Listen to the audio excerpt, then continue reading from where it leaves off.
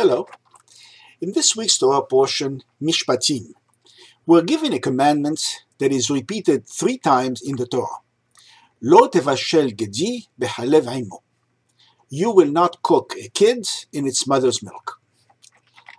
This commandment was interpreted to mean that milk products and meat products, in Hebrew basar behalav, must never be together. Let's explore this Jewish law in some detail and try to fathom the reasons for it. Let's begin with a joke that summarizes the detail of the laws and addresses the fact that the injunction is repeated three times. God says to Moses, You will not cook a kid in its mother's milk. Moses replies, You mean we may not eat meat and dairy products together? God says, You will not cook a kid in its mother's milk. Moses replies, You mean we should have two sets of dishes and utensils, one for meat and one for dairy? God says for the third time, You will not cook a kid in its mother's milk.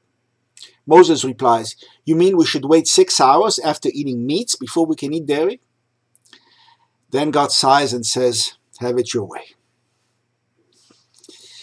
Actually, the Talmud interprets this triplicate commandments as meaning three different things.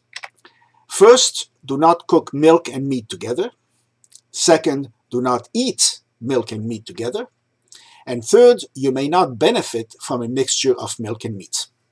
For example, you can't feed milk and meat to your pets. This is in contrast to non-kosher animals from which Jews are permitted to derive benefits. The Baal HaTurim, 14th century Spanish rabbi, notes that the gematria of do not cook a kid, in Hebrew lo tevashel gedi, is the same as the gematria of it is the prohibition of eating, cooking, and deriving benefits. In Hebrew, "he he'isur achila ubishul vehana'a. Let's look at the details. A kid means not only a baby goat, but also a calf or a lamb or any tender young animal. Why? The Talmud says that it's because when only a baby goat is intended, the Torah says gedi azim, not just gedi. The Talmud also interprets meat to include fowl, even though fowl do not produce milk. This is a prohibition midrabanan, that is, a rabbinic prohibition, and it is due to Rabbi Akiva. However, the Rema, 16th century Polish rabbi Moses Isserles, rules that one may derive benefit from a mixture of chicken and milk. Meat, however, does not include fish or locusts, so fish and milk may be eaten together, although many Sephardic Jews avoid that mixture. May one cook milk and meat together if one of them is from a non-kosher species? The Talmud says yes. However, there is a dispute on the appropriateness of doing so because of marit ayin, that is, doing something that may appear to be prohibited and give witnesses the wrong idea. Among the sages, the Rashba and the Rema say not to do it, whereas the Shach and the Taz say it's okay to do it. May one cook milk and meat together if the meat is from a kosher species but was improperly slaughtered, in Hebrew a nevela. The matter is in dispute. The Rambam says one may do it, but the Rashba prohibits it. A practical implication is, can you feed such a mixture to your dog? If some milk falls accidentally in a meat dish in a proportion of less than 1 part in 60, the mixture may be eaten. 1 60th is considered to be the threshold for being able to taste or smell the milk. In Hebrew, that principle is called batel beshishim, nullified in 60. Rav Moshe Soloveitchik rules that one may cook but not eat milk and meat together for a scientific experiment if it yields a material benefit. Now, what are the reasons behind the prohibition of mixing milk and meat? We don't know, of course. The traditional answer is because God says so.